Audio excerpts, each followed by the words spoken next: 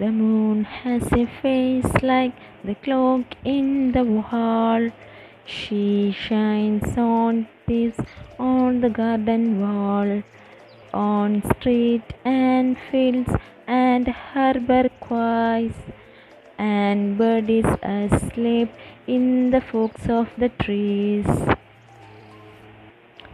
The squalling cat and the squeaking mouse, the howling dog by the door of the house, the bat that lies in bed at noon, all love to be out by the light of the moon.